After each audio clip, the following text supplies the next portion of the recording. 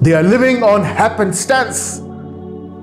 You see happenstance in political point of view, or normally we say it, when some things are going by default or by something else. Like for example, you're going somewhere and by happenstance looking for water, you found oil. This is happenstance. You were not looking for oil. This is what's happening. Pakistan has been going on through happenstance. That's all. The genesis of Pakistan was what?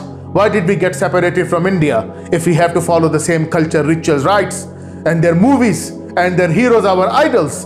What is the point of being separated? What was the two nation theory by Allama Iqbal? I'm asking, what was it? It was that we are different nation. Our history, our culture, our socialism, our politics, everything is differ from India, from Hindus and Christians, vice versa. But now look at us.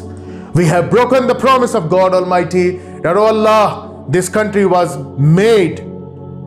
You know, Pakistan was made, literally made through these proclamations or, you know, uh, signs or slogans of that La ilaha illallah Muhammadur Rasulullah And we did deceived Allah subhanahu wa ta'ala. So Allah has forfeit us no more job for us.